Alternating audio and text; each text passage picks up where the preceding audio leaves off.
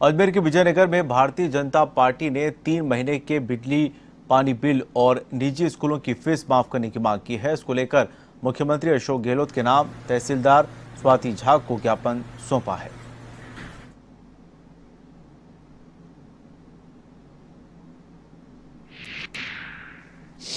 Bharatiya Janata party मंडल द्वारा विजयनगर तहसीलदार madam को ज्ञापन दिया गया।